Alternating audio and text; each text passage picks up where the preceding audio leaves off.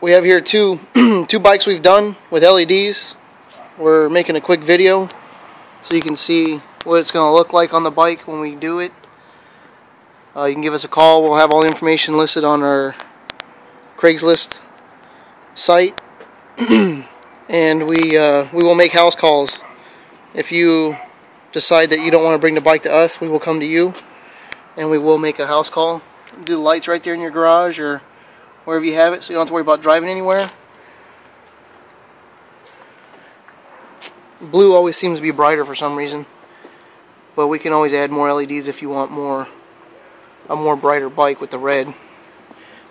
We'll have multiple colors. Just give us a call. Information will be on there. And that's a quick walk around on a couple bikes with LEDs. Simple. Switch will be nice and uh, hidden.